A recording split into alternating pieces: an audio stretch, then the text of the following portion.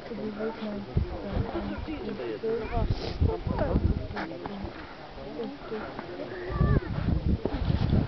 A tam właśnie teraz nie ma gdzie usiąść. Na plecaku gdzieś, jak na kamieniu zawsze siądzie, nie siedzi za geografii. Zdjęcie było takie ładne. Zaraz. Za